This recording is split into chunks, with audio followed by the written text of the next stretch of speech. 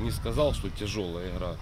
Как бы команда соперника и давала играть, и вроде бы и мы играли, ну не хватало какой-то секунды какой-то, то лишнее касание, то, то, то, ну, а из таких мелочей, вот поэтому ну, и нервозность такая ощущалась. э, Где-то там не забили, там не добежали, там не отдал вовремя.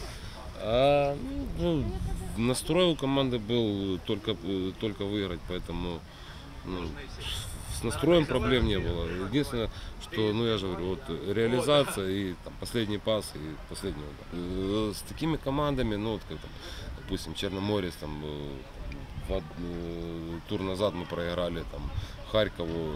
То есть игра, когда игра дается, когда команда дает играть, очень важно забить гол. Мучались ребята, бились, но в итоге достучались, наверное, до них, э, что нужно каждый момент реализовывать. В целом вы довольны действиями своих футболистов? Ну, довольными э, быть и нет э, предела совершенству, поэтому работы очень много.